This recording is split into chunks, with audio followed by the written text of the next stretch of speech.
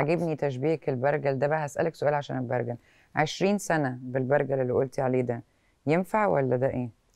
ينفع لو هما الاتنين متكافئين بجد؟ 20 سنة ده عادي؟ آه طبعا يعديها الطب النفسي؟ يعديها ونص يعديها المجتمع؟ يعديها كل حاجة بنمر بيها؟ لأنه هو العمر رقم ولا العمر نفسية وخبرات وطباع وسلوك حقيقة يعني النهارده لما نقول آه، آه، واحدة ست عندها خمسين سنة. ولكن بتمارس الرياضة وقوامها بيرفكت صح؟ وواخده بال- بالها من كل التفاصيل وست زي هي القمر اللي خدت واحد قد عيالها واتجوزت حد هو شايفها آه، ملكة جمال أحلام وممكن مم. يكون أصغر منها ب 10 وساعات 15 سنة وعندنا مثل حي يعني هنروح بعيد ليه الرسول صلى الله عليه وسلم طبعا كان 20 سنة تزوج.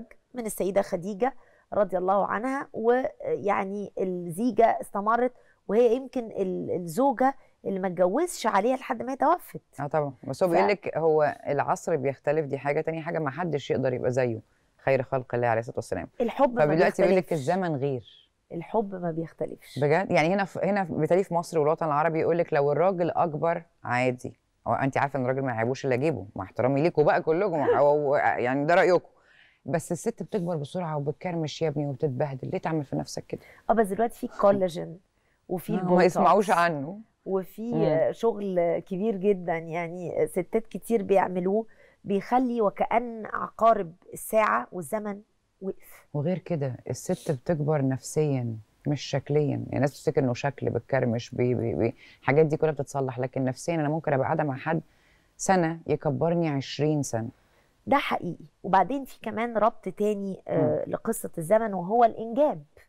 إنه كتير من ال- الأزواج أو الرجال بيربط عمر المرأة بعمرها الإنجابي. ما سمعوش عن تجميد البويضات أو ال egg freezing أو إنه الطب تقدم وان ممكن تخلف في عمر 50 حتى؟ مثلا.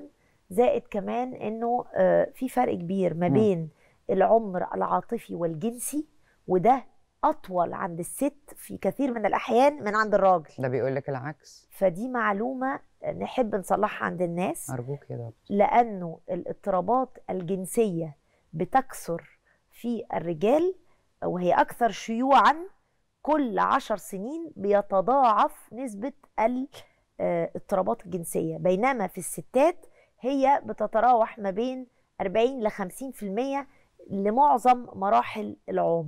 مم.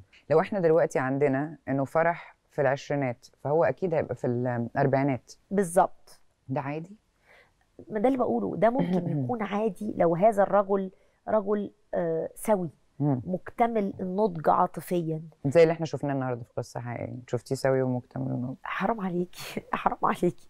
ده يعني أنا مش أنا بيجوا لي بعد المصيبة. طب أعمل إيه؟ ألم منين يا ربي يعني يعني ده حاجة الحقيقة آه، هو آه، مثل آه، مخزي ولكنه للأسف مثل منتشر مم. موجود. ال- الشخص اللي بيستغل الآخر وبيستغل احتياجاته وعارف إيه الكروت اللي موجودة على الترابيزة؟ هو عارف انه الأهل عاوزين يخلصوا عاوزين يستريحوا مم. مش عايزين يدفعوا اللي يلعب بيه صح. بالظبط مش عايزين يتكفلوا شيء. وان البنت عاوزة تتجوز وعايزة تتستر وعايزة آه تعيش بقى حياتها بما انها ما بتشتغلش. طب لأنه من اللي أنا قريته آه فرح أنا ما سمعتش يا فرح انت درستي إيه؟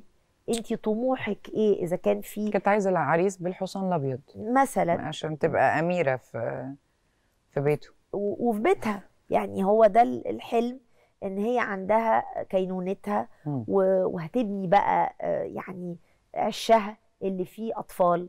والكارثة بقى آه، زي ما حضرتك حكيتيها إنه مش هيبقى فيه أطفال. وإنه ما كانش فيه الحوار ده. قبل الجواز.